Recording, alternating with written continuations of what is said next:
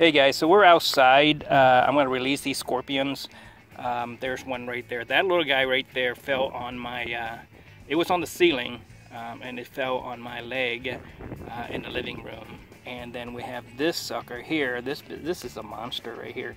This uh, this dude right here was in my pantry. Um, it was in the bag of my box of uh, chips uh, you know those little bags of chips it comes in a box and it was at the bottom of the box. But this thing is roughly ooh, let me see here. Hope it don't get me. This thing is roughly the size of a finger right? Roughly the size of a finger.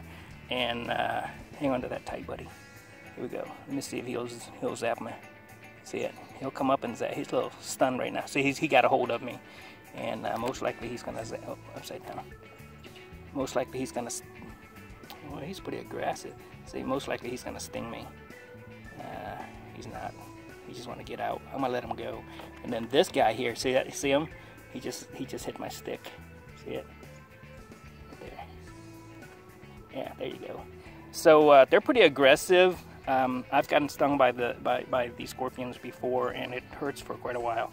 Um, we had three. We actually had three, a little one, and uh, and one was uh, one was eaten uh, one of them. I think this. I think this little guy here ate, ate the little one. Um, so what I did is I went out to uh, a bee's nest, uh, not a bee's nest, but a wasp nest, and uh, um, I destroyed a wasp nest and uh, got the wasp larvae, and they ate one of them uh, yesterday. So what I'm going to do is I'm going to go ahead and release these guys. There's no need. there's no need to kill them. they eat insect, insect eggs um, what else? Um, bees, spiders. Um, I'm not sure if they eat black widows, but they, they need to eat black widows. But I'm gonna let them go real soon here because the ants out here are, are gonna tear me up. But uh, here I'm at the edge of my driveway. So the house is, you know, quite a distance away. So hopefully, you know, these homes are, you know, so hopefully uh, it doesn't come back in the house. But like I said, I think we got nine of them in the house this year uh, so far.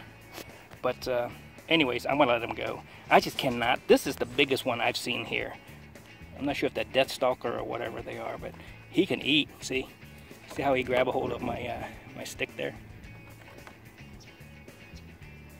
Yeah.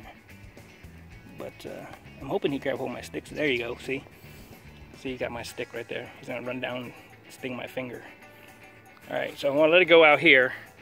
Um, kind of in the field, but uh, there, there it is right there. There you go. It's gone. It's in the grass. And let's see if this one, let's see if this one uh, will bite and come on and climb on. No, I'm just gonna go ahead and dump this one out and uh, hit inside before uh, these ants. I did put a little water in there for them, but uh, anyway, so it's gone. I'm gonna go wash up and thanks for hanging out with me guys.